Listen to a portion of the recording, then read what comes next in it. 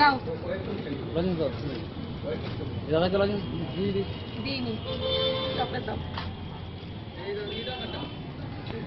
High ভাই আগে sanitise করে নেয়। হ্যাঁ সুদীপ তো আগে স্যানিটাইজ করে নি বুঝলি তো? তারপরে। হ্যাঁ। হ্যাঁ হ্যাঁ নিয়ে চলে যাও তো। দেখে নিয়ে হ্যাঁ, ব্যাগের মধ্যে যা আছে। কম ঘুরতে হবে তাহলে। চকলেট? হ্যাঁ। ব্যাগটা নিয়ে গেলে তোমাদের কম ঘুরতে হবে? হ্যাঁ? ব্যাগটা চলে গেলে কম ঘুরতে হবে। এবার সৌভাগ্য হলো আমার। না না।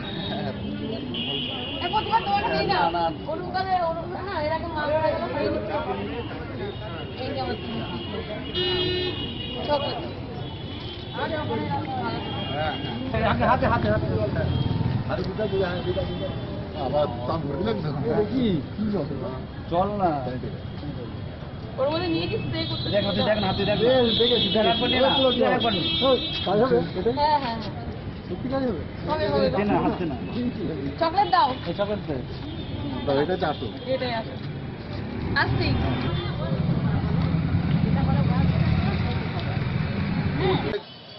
সত্যি তাই। পুচকি পাওয়া যাবে। আমারই তো ছেলে দেখছি কি বলব বলো। ফুচকি পাওয়া যাবে। Chocolate chocolate. না না ভাই ঠিক আছে। না না না ভাই ঠিক আছে। চকলেট দাও এদেরকে চকলেট দাও ভাই। চকলেট স্যানিটাইজার করে হাতে দিয়ে দাও। এই চকলেটটা দে। ওইটা খুলেছো রাখি না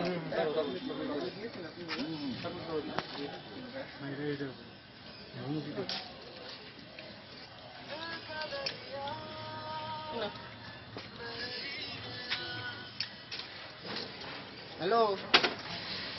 এই তো মনে চলে এটা কোথায় বাড়ি। আমার ছেলের হাত ফাঁকা।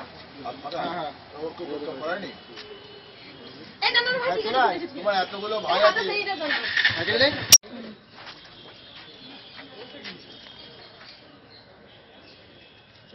উপরে ওগুলো তো উঠে যাবে। ভাবলি আমার বোন আরও বড় হোক সমাজসেবিকা হিসেবে আরও বেশি চিহ্নিত হোক। ধন্যবাদ জানাব না দাদা ভাই আশীর্বাদ নেব আজকের দিনে।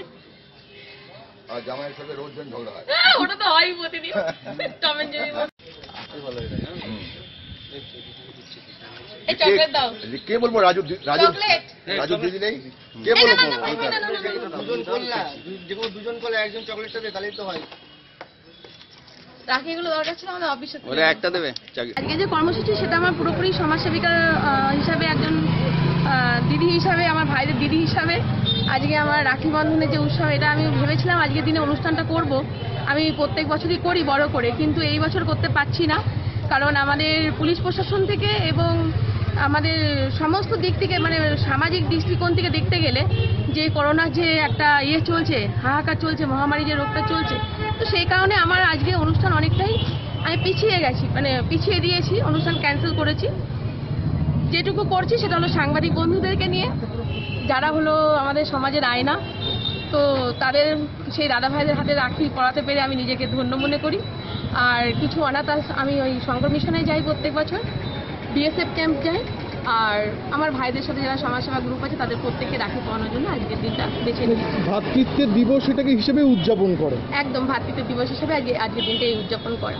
এটা কি বার্তা দিতে চান? এইরকম একটা মহামারীর সিচুয়েশনে বা বার্তা এটাই দিতে চাইছি যে সবাই ডিস্টেন্স মেনটেন করুক, সবাই ঘরে থাকুক, সুস্থ থাকুক এবং সাংবাদিক বন্ধুদেরকেও বলব যে আপনারা নিজেদের প্রাণ হাতে করে নিয়ে যে কাজগুলো করছেন, আপনারাও নিজেদেরকে প্রোটেকশন দিয়ে সেইভাবেই চলুন।